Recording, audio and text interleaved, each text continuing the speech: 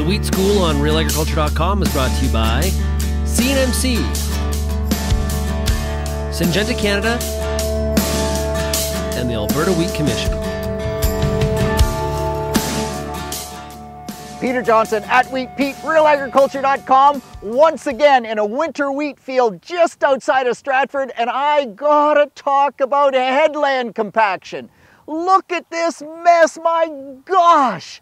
And it's not just this field. Last fall, the fall of 2021, incredibly wet, but the amount of compaction, we could see combine tracks in the winter. One thing about wheat, man, wheat tells all. My great friend Russ Barker, that's his quote, wheat shows all. And it does. When you create that compaction, it shows you, it stays yellow. When you create enough compaction, and you can see from these pictures that it was unbelievably wet when we planted here last fall. We wanted to get the wheat in, we pushed it, so that's not wrong, but man, these center fill drills with all that weight on the drill. And in this picture, even though the gang wheels are creating enough compaction that you can see they're really having a negative impact on the wheat and the wheat emergence. And by the way, given the way this wheat field was planted, it looks amazing compared to how you might expect.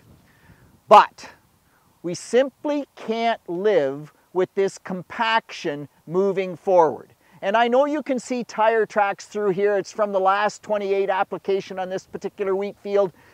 But it's, it's repeated compaction. It's the combine, it's the grain buggy, it's the planter, it's the cultivator. It's all the things you're always turning on the headland. And in particular, the planter and the drill, when you lift on the headland, all the weight goes on the wheels.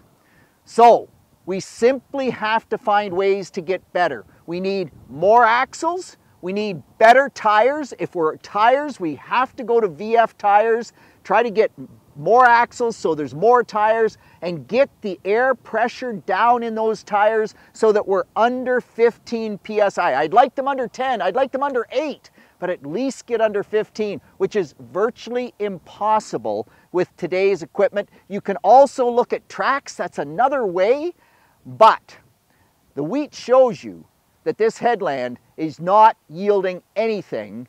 If you grew corn on this or soybeans, you would look at this and it would look like there was a crop there, but every time you look at the yield map, these headlands that are compacted and beat to daylights are always red. They are low yielding, and so somehow we have to solve that problem. If you're tile draining, Make sure you put an extra run on the headland, but it really comes down to the equipment. The equipment does not seem to be getting any smaller, so more axles, more tires, lower pressure. Figure it out. Let's grow crop on every acre that we farm.